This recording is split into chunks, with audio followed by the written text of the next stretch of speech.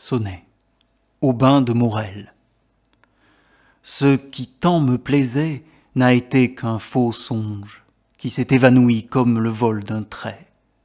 Tout mon bien, par la mort, loin de moi s'est distrait, et ne m'en reste rien qu'un regret qui me ronge.